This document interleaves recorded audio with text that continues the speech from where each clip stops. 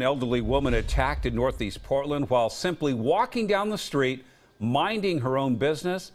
Now, our Valina Jones has details on what police and people who live in that area are saying about all this tonight. Valina? Well, Jeff, when you see that video, the attack really comes out of nowhere. This all happened on Wednesday in broad daylight, and police tell us tonight that the victim and the man didn't even know each other. It's just really disgusting. That disgusting act was all caught on camera. Surveillance video shows a woman walking down Northeast Broadway and a man in a hooded sweatshirt following a couple feet behind her when suddenly he lunges towards the woman and this happens.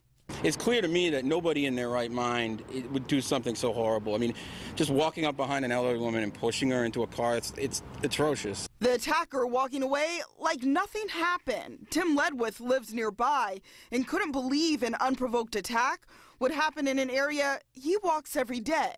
The closest you'll ever see is sometimes there'll be somebody that's dealing with some sort of mental health crisis and they're screaming and that, but I've never seen violence. A witness quickly came to help the woman. Police say this is the man who attacked her, 25 year old Justin Ames. It's just upsetting that people aren't treating each other with more respect and care. Court records show Ames has a lengthy criminal history dating back to 2012, including harassment, drug, and weapon convictions.